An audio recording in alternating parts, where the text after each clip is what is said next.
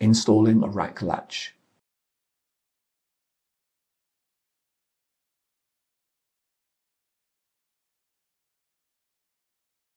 The procedures for rack latch replacements are identical for the ThinkSystem SR250 V3 and SR250.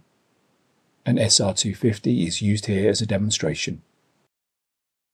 Align the hole on the rack latch with the pin on the chassis and then press the latch onto the chassis and slightly slide it toward the front of the server.